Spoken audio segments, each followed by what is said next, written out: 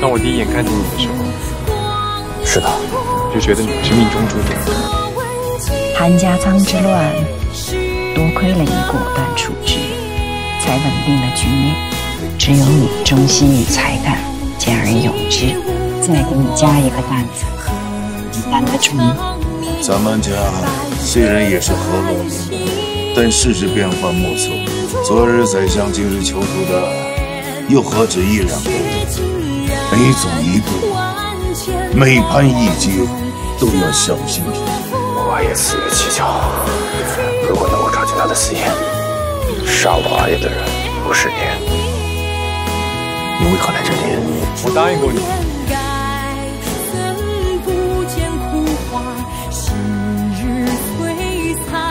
因为你不听话，所以就必须付出代价。